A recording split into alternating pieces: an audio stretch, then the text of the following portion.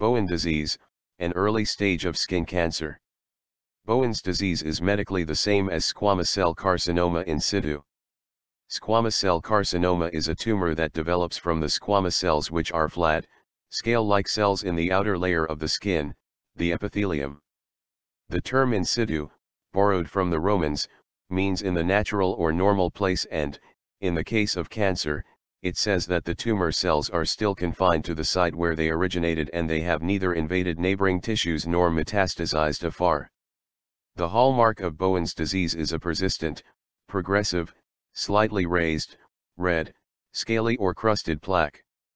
Bowen's disease may occur anywhere on the skin surface, or on mucosal surfaces such as in the mouth. Under the microscope, atypical squamous cells are seen to have proliferated through the whole thickness of the epidermis, the outer layer of the skin, but to have gone no farther.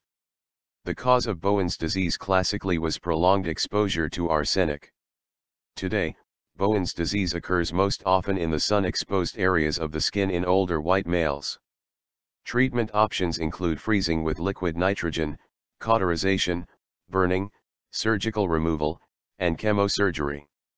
Bowen's disease is named after the American dermatologist John Templeton Bowens, 1857 to 1941.